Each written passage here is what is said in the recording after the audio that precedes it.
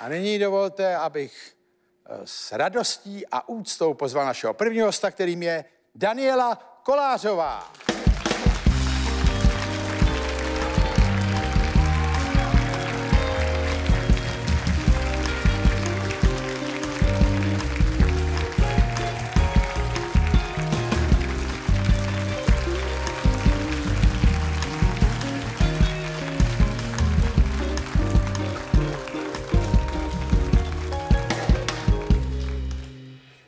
Koukal jsem, paní Danielo, že vyhrajete zase v nějakým filmu zase manžela pana Svěráka. Pan, má manželku teda pana. Svěráka.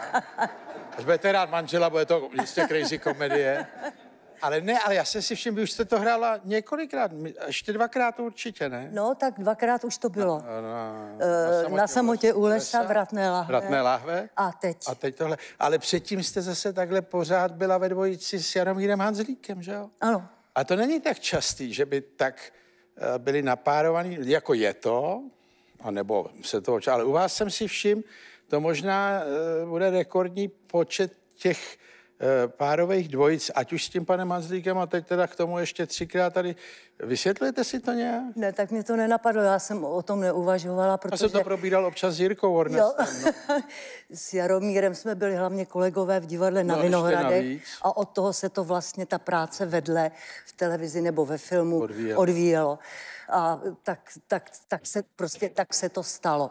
No ale byla to taková herecká dvojice, jak si zafixovaná, jako u herců se to někdy stane, taky lidi to mají rádi, když se jim to líbí. A u vás to bylo s tím Jaromírem, nebo měl jsem pocit, že to bylo často.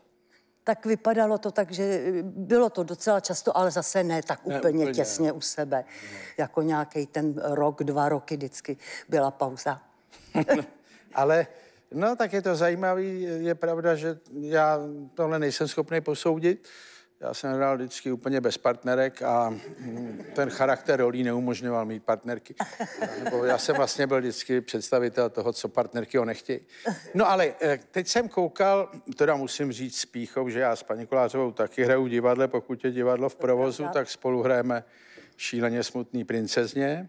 Ale eh, koukal jsem a vy jste to tam i zmiňovala, vy jste si ohromně ponořila eh, do toho, je to zahrádkaření nebo pěstování něčeho?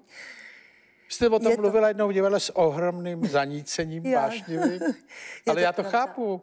Jo, opravdu? No. Já prostě jsem v tom našla uh, úžasný rozměr, odpočinek, relaxaci, hrabat se v hlíně, něco sázet, pak vidět, že to vyroste. To je, to je taková satisfakce. No ale vy děláte jako záhon nebo zeleninu, nebo... Ne, tak zele- zeleninu snad začnu, až na to Jo. budu mít čas, ale v podstatě jsem začala, eh, já nevím, že jsem zasadila rododendron, takhle maličkej. A ono už je delší dobu to velik- děláte, Je že? to delší dobu, No. je. Ale já to teda obdivuju, protože já na to nemám trpělivost, Ivanka taky ne. My jsme takový ty, co zasadí kitku a koukají, co dělá. A ráno teda, jestli se to, a když se to nemění, tak mně to přijde, že to je hrozný nápor na trpělivost, protože ono trvá dlouho, než zjistíte, že to uhynulo.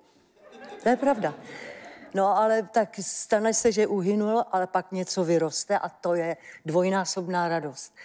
To je, No, ale tak musí se tomu rozumět. eh, Jako, Tak já jsem začala jako absolutní hlupák, laik z města a teď samozřejmě pak jsem začala studovat no, Jo, jsem literaturu. nastudovala, jo.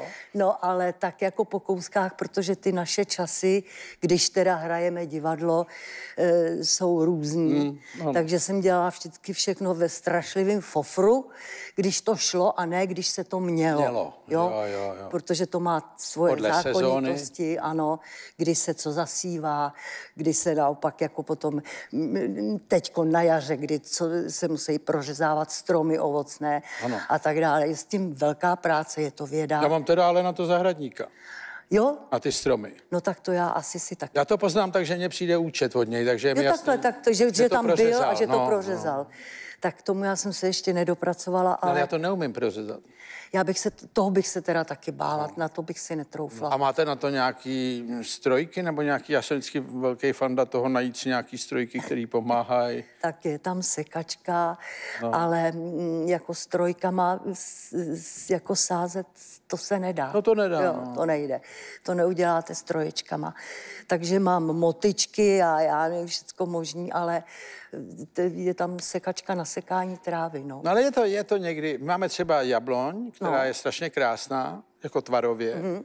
kvete týden, týden. Aha. Když náhodou máte v tu dobu práci, tak No, tak to, ne, tak to, To? prošvihnete. má ohromný, nechutný jabka. Když vám to jabko spadne na hlavu, tak jako na tu jabloň zapomenete do smrti. Takhle velký, jsou kyselý jako prase a hned jak odkvete, tak se chvíli a pak pořád háže ty jabka. Každý den, pořád. Až do, já vlastně, a já pod ním klízím, říkám, zas tak nádherná nejseš, abych já tady dřel až do podzimu. Je to někdy velký nápor i psychický, Tak že člověk tomu musí dát ohromný úsilí a má pocit až nevděku někdy. Nebo říká si, tak týden kvete, že hele, já si to vyfotím, když tu jsem. Ano, když to A jde. pak na to mám vzpomínat, když tady ona dělá ten čurbes, že jo. A to jsou takový lemíče. Tam Já se vím, bojíte projít. Ale tak je to, je to teda nespravedlivý strašně, jo. No. Ale zase třeba ty spadlý jablíčka uživějí nějaký zvířátka. Já vím, to jsem tady už říkal, my jsme letos začali krmit ptáky. No, tak my jsme tam dávali, já jsem tam dvakrát, nebo každý dva dny měnil ty kouličky, oni všechno sežrali. Oni, to, oni jdou, ano, rychle. Ohromná zobanice No, propukla. ano, ano. No, pak jsme už dávali takovýhle koule, ten strom sotva stojí, protože to je plný. A oni mě ty ptáci připomínají rodinu, oni se nažerou a zmizejí. No.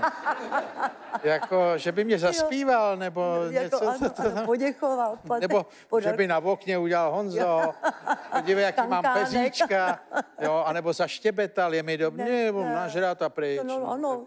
Je to taky, a pak když máme ten domeček jeden, to krmítko, tam je narváno, to je hned sežraný. No. Takže já furt lítal s pytlema, no, jako, že bych si mohl říct, ty ptáci o mě vědí, neměl Ne, jsem tak to- takový tak, pocit. mm, A vy taky krmíte takhle ptáče? E, Taky krmím, taky, ale teda nedávám kouli, normálně jsem koupila takovou malou budku. No my no máme a, budku a ještě koule. No a tam je narváno a teď, No. se, teď už tam stojí frontu taky. No a čekají, dole jsou ty, co sbírají to, co vypadalo. Ano, takže, ale je to fofr, je to skutečně za, za já nevím, hodinu pryč. No, no. A co, co krtek? Jo, krtečci, ono tam bylo hromad, to musím teďko zarovnat. No. Hodně hromádek, rostomilý. Ale já teda nemám nervy, na to mě to jedno děvče nabízelo, že je zlikviduje No. a já nechci. Já jsem dokonce se ozval na inzerát, byl inzerát vrah krtků, Ano, tak já jsem mu zavolal hned a on tam teda s nima nějak úřadoval a když skončil, já jsem říkal, no a dokdy to jako vydrží, nebo tam říkal, no než přijou další. no, A já jasně. říkám, a kdy přijou další, on říká, to se zeptejte jich. A odešel s těma prachama A jasně, a v a bylo hotovo, no. znova. Ale já myslel, že to jako bude jednou provždy, že oni si to třeba řeknou, tam se vraždí u Krause. Tam šel děda, jak dopad, už Jo, tam nechoď. už nebo tam tak. nechoď, ne. ne. to vůbec nefunguje. nefunguje. A do toho nevíte, co je krtek a co je ten hryzec, nebo co, že- co dělá ty díry jenom. Jasně. Máte to taky? Tak asi určitě občas, ale protože ono je to tam dost veliký. Ale krtků tam, krtečci teda letos hodně A řádně. ono se mu nesmí nic dělat, ono ho máte odvízt někam pryč. Já jsem říkal, takže bych ho odvezl do lázní. třeba. No, protože on je chráněný. No, nebo k moři, já vím, no, ale já, mě to někdo nabídl, že to umí likvidovat a já nechci. No. No ne, no tak, no tak pokud vám tam vyloženě nedevastuje něco přímo před očima. Ono je to teda, on mě vysvětloval ten vrah krtků a bylo vidět, že on je zná dobře, že on pozná i, jak sekáte a on pak hrabe v těch mezifázích. Aha, jo, to je Jo, mazec. a já už jsem pak zjistil, že sekám v době, kdy se mi to vůbec nehodí, jenom abych ho zmátnul. Takže já jsem se stal obětí těch teorií toho vraha, jako co teda, jak, jako znejistit v tom rozvrhu. A když mě to popisoval, mě popisoval, že on si udělá nějakou chodbičku, někde, kde jsou žížaly nebo tak, jede a tak je ze zhora jenom pinká, oni mu padají. Jo, Ty žížaly do toho, takhle jo. dolů a on to pak pozbírá, nebo celá rodina slyšet. Čili on tam má ohromný komfort za cenu toho, že vy se ráno probudíte a je- víte, co já mám, jakou psychickou mám na to průpravu? Já dělám, že to jako ne- se nestalo. Já jdu kolem toho a kopnu do toho a dělám, že tam ta hromada nebyla. Takže já tam bojuju o trávník, ono zdevastuje za jednu noc. No ano, no, to je blbý, že se musí zasívat znovu, no. No ne, to je hrozný. No ne, zase a díra tam je, že jo, a já nevím, co mm, Tam přijete ráno, tam je osm, tam to vypadá, že jsme Vypadá, měli brambory nebo co. A ten hryzec do toho ještě. Je to takový, jako je to někdy boj s tou přírodou. No je. Ale je pravda, že myšlenky to odvede dokonale teda. No právě, A o to jde. o to jde. No a vy, když je léto, pak tak se tam celý léto?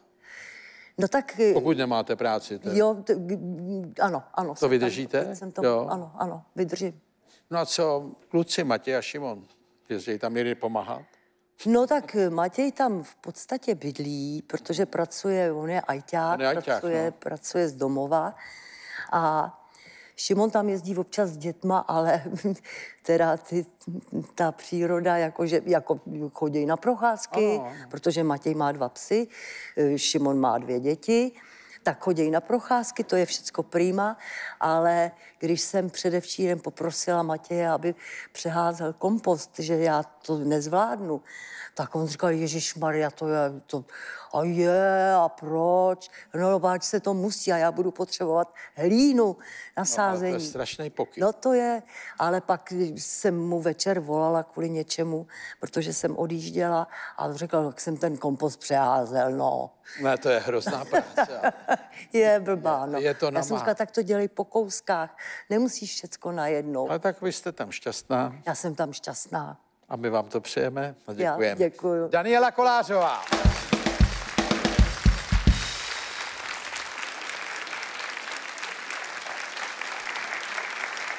Děkuju.